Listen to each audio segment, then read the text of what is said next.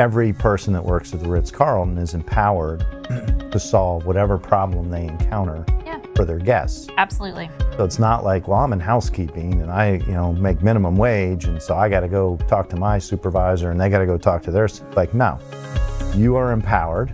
If there's something that you believe you can do to make that guest experience better or improve upon it because maybe something didn't go well, you're empowered to do it. Yeah. And that's a culture of ownership.